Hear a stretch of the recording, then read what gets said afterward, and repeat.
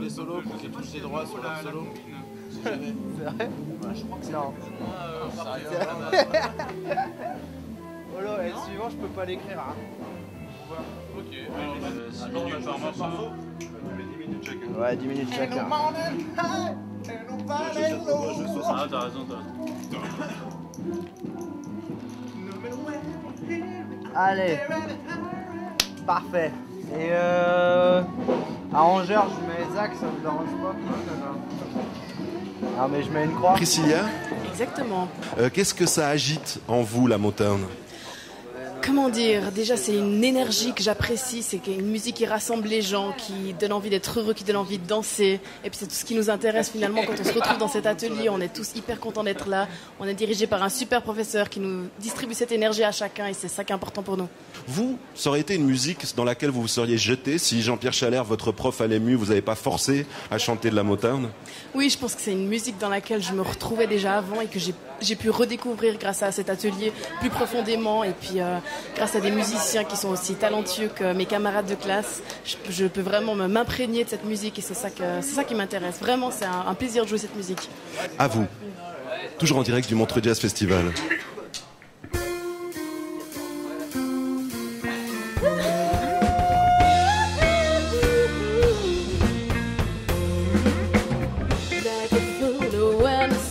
Too long. If your love is strong. Ooh, baby,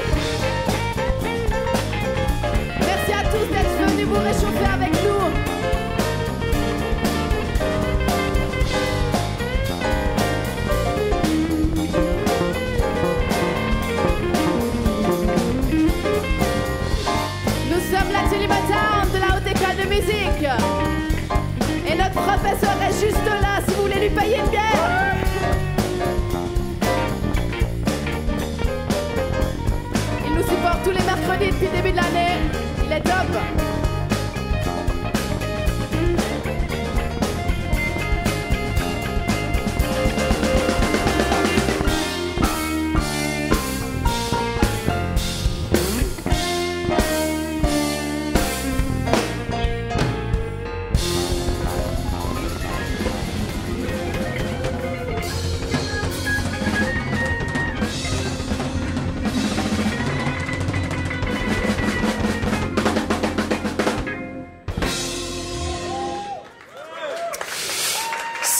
Sealed and delivered de Stevie Wonder par l'EMU, l'école, la haute école de musique de Lausanne, toujours en direct du 48e Montreux Jazz Festival.